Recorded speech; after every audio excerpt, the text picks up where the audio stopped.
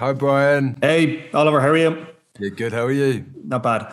Um, I wanted to start off and ask you, um, and this is gonna this is gonna sound like a dig. It's not a dig. It's a genuine question.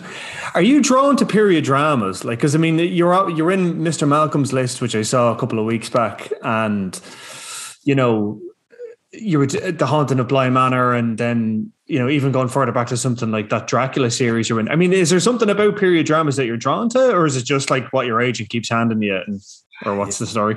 Oh, I should probably fire them, shouldn't I? no, no, no. Like you're good in them. Like it's you know, I mean, like it's. Brian said. I spoke to Brian yesterday.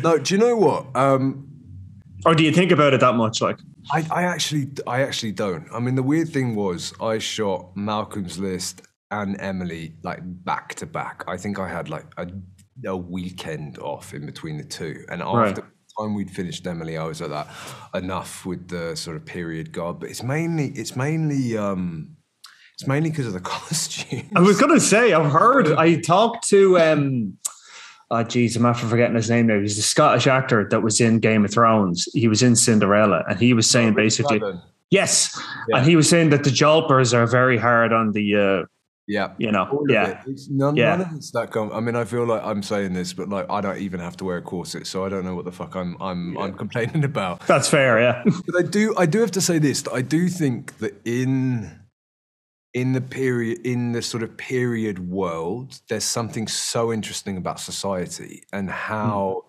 And hopefully, I, I feel like Frances achieves it with, with Emily, which is this this whole idea of repression and like stay in your box, and you know do what is expected of you.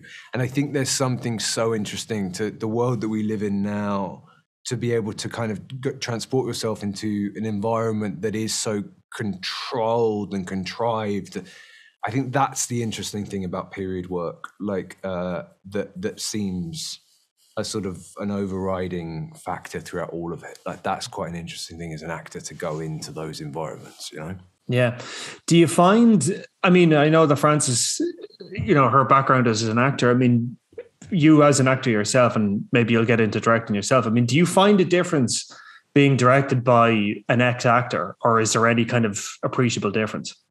Uh, I mean, there is, there is, and you know, I say this, you know, with with you know, I've I've worked with some really brilliant directors that haven't that haven't acted before, but I worked with Frances, and then before that, I worked with Maggie um, Gyllenhaal on um, on the, this film, her first film as well, and and and I have to say, like both, and they happened sort of back to back as well. So to go from sort of first time directors who was an actor, you know, his first film to another one. It was it was an incredible thing, and there's a there's a language that's spoken.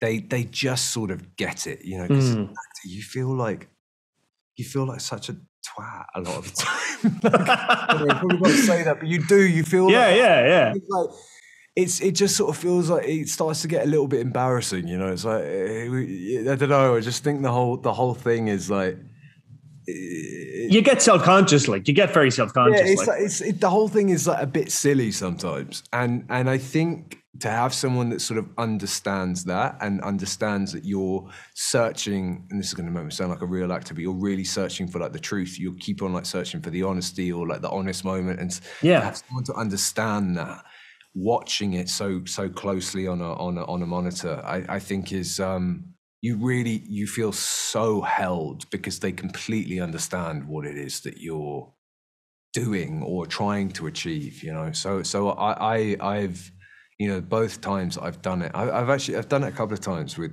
uh but but recently i've i've loved i loved working with frances and i love working with maggie yeah, I mean, like I remember the Lost Daughter. Like, I mean, it was it was it was really special. Like, and I think, yeah, I think that's. It, I mean, as a viewer, that's something you definitely notice that there's an awareness of the process from an actor director to the yeah. cast.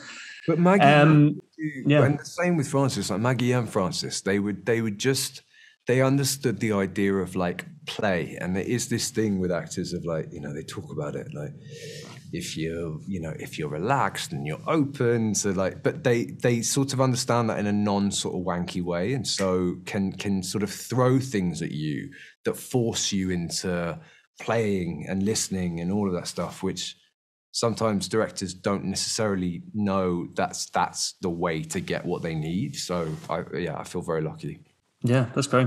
Okay, I'm getting the wrap up there. Um, thanks so much, man. Rambled. Don't worry about it. Cheers, man. Thanks a lot. All the best.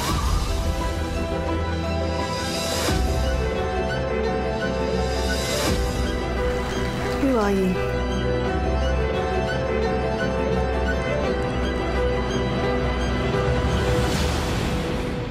You wait and see.